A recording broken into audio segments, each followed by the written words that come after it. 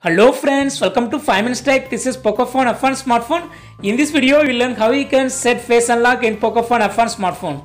First, go to the settings in your phone and click on lock screen and password. Now click on add face data. Now draw the pattern if you have set. Read the instructions carefully and click next.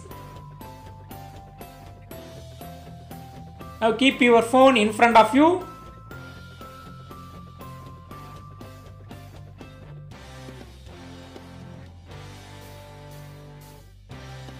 Now check whether the set face unlock is working or not. Yes, it's working very fine. That's all friends. Thanks for watching. Subscribe for more videos. Until then, goodbye.